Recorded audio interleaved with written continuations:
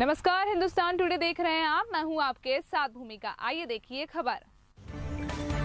Dipar police द्वारा SDM और SDOP के मार्गदर्शन में दो अवैध रूप से रेत से भरे हुए डंफर किए गए। श्रीमान पुलिस अधीक्षक महोदय अमन सिंह राठौर अतिरिक्त पुलिस अधीक्षक आई डी प्रजापति के निर्देश में अवैध उत्खनन के दौरान सेवढा एसडीएम वीरेंद्र सिंह बघेल और एसडीओपी आर एस राठौर ने दौरान हमराय थाना प्रभारी परमानंद शर्मा ईएसआई मुरारी शर्मा जब रात्रि गश्त पर निकले थे। इसी दौरान मुखबिर की सूचना मिली कि दो डंपर अवैध रेत से भरे दो डंपर जा रहे हैं। सूचना पर एसडीएम वीरेंद्र सिंह बघेल और आरएस एस राठौर के साथ डीपर पुलिस द्वारा जब डंपर के साथ ड्राइवर द्वारा रॉयल्टी मांगी गई तो उन्होंने अपना पास होना नहीं बताया और चालक मौके से डंपर छोड़कर भाग गया। तो उन पर डंपर को मांगरोल चौकी में रखवाया गया। उक्त कार्रवाई में एसडीएम सेवडा, वीरेंद्र सिंह बघेल और SDOP Shri R S Rathore और थाना प्रभारी परमानंद शर्मा और एएसआई मुरारी शर्मा की विशेष भूमिका रही।